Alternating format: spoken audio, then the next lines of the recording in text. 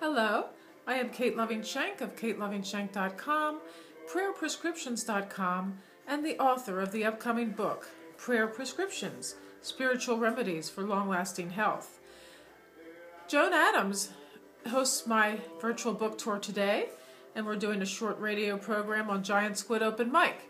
And we will be discussing the way that the book began and what gave me the idea for it, and also we will be discussing how you, as an author, can do a virtual book tour to get the word out about your book.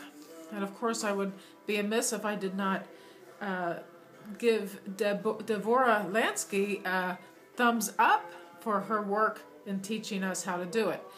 Um, so, um, right down below here is the link. Actually, the, the radio show is right below this video.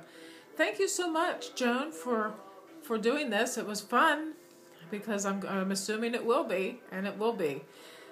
Joan and I have known each other for a long time. I met her at her home several years ago at her family reunion, and we had a very memorable time.